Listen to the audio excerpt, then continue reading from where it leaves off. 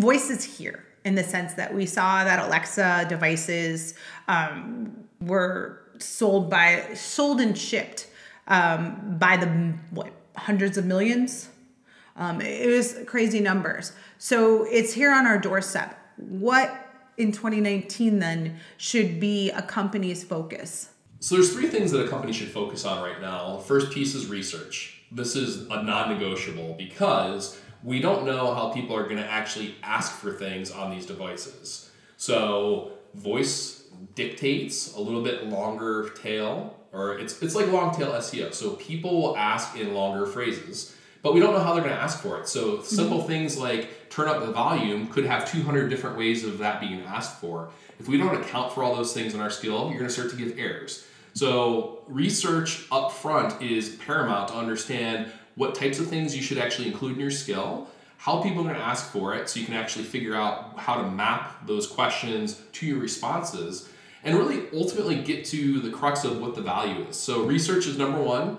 Number two is actually taking all those insights from research and creating a small version of the skill. So you don't want to go through and create something that's going to take two years to get mm-hmm. out to market. You want to do something that's going to take you three months to get out into market.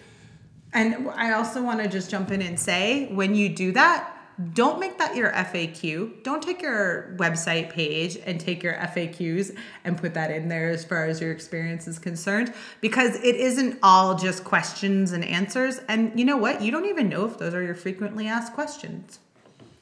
It's really about understanding the different parts of the customer experience where voice makes sense. So maybe there's an acquisition piece, maybe there's a customer retention piece, maybe there's a customer support piece. Those can either be three separate skills or they can all be in one big skill. The, the second thing you need to focus on this year is once you understand what the research is telling you, what you need to do from a customer experience standpoint, you need to start implementing it. And so the recommendation would be to create something that's relatively small, focuses in mm-hmm. on doing one or two things extremely well, and then putting that out into the marketplace because really after development of the skill which you know dot dot dot there's work that goes into that but after development you really want to understand how people are engaging with it in the wild. So what other things are they asking for? Are there things even within that piece that you mm-hmm. designed it for that people are di- using it differently outside of the research context? So really the first the first piece would be research second piece would be creation